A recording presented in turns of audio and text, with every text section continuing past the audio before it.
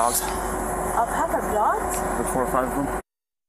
Even first responders had a very hard time making sense of this horrific scene in Tucumcari earlier this month.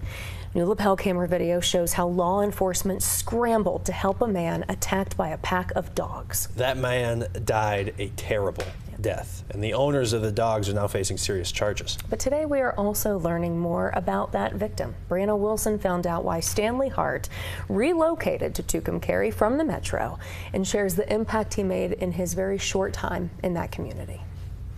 Haley Place met Stan Hartt for the first time at a Tucumcari grocery store during the pandemic. His first impression of the man was how grateful he was for little things like vegetables, even during a difficult time. They were still available and they were still fresh and how lucky we were to have the money to pay for him and how glad he was to be in a small town like this. Hartt wrote about his love for the small town as a guest columnist for the Quay County Sun, saying he decided to leave Albuquerque two years ago, not sure of how the next part of his life should go. He had wandered between Las Cruces and Amarillo looking for a decent, affordable place to live. These are his own words.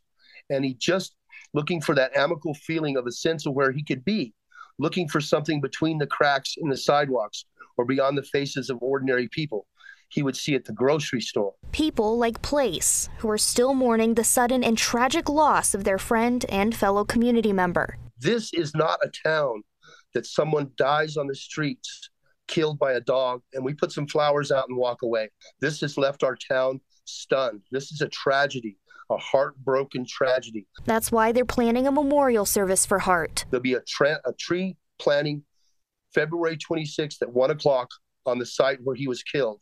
Then there's going to be a service at 3 o'clock at the Immanuel Baptist Church at 706 East Hines Avenue in Tucumcari, New Mexico. We have our hats in our hands and we are heartbroken. And anything we can do to help comfort his parents, his friends, his family, we're here for them. Brianna Wilson, KOB4. Now, as for the suspects who owned those dogs, officers believe Mary Montoya and her son Christopher Morris owned all five. They are both facing felony involuntary manslaughter charges.